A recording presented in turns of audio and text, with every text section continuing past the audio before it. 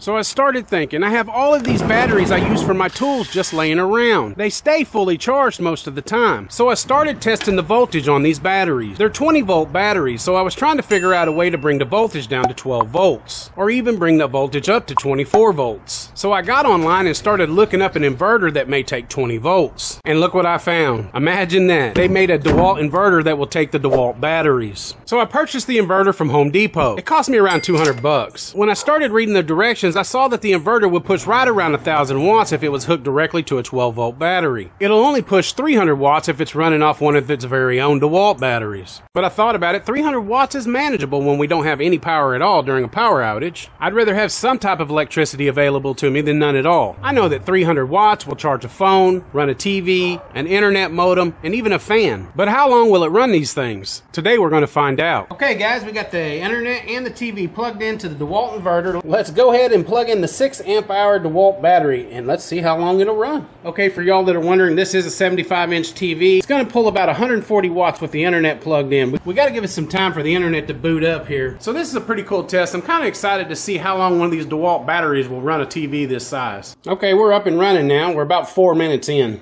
Okay, we're 10 minutes into it, pulling 144 watts, and the battery shows that it's about half staff. We'll see what's up in another 10 minutes. Okay, we're 20 minutes in. Let's check the battery status. It's not looking too good. 148 watts is what it's pulling, and it looks like it's on the last bar here as far as the battery's concerned. Okay, we're coming up on 30 minutes running off this DeWalt battery. Still showing right at 155 watts. We got one bar left on the battery. All right, our TV has shut off right at about 32 minutes. I would say it's not too bad for a single DeWalt battery running a big TV like this and the internet modem. Remember, if you got a power outage in the middle of the night, just lights and a fan might be nice to have. Now we're gonna see how long will it run these two 60 watt light bulbs and a fan. Okay, let's power the inverter up. We've got the two light bulbs up here on the top ran together here. That lights it up pretty nice. Okay. At this point, the DeWalt doesn't even read it's pulling any wattage. Probably pulling somewhere at least around 60 watts or so. All right, we're to go ahead and plug the fan in. We'll go ahead and turn the fan on high. Finally reading around 41 watts. Okay, we'll start the clock at 514.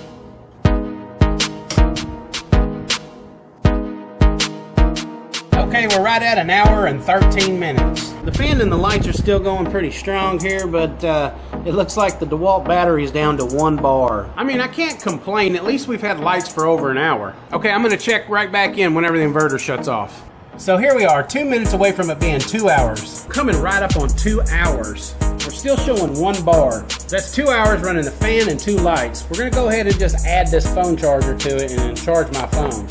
I'll get back with you as soon as it shuts down. Okay, we are completely shut down at 728. Okay, everything is shut down at about 2 hours and 14 minutes. That wouldn't be too bad in a power outage to have two lights and a fan for about 2 hours.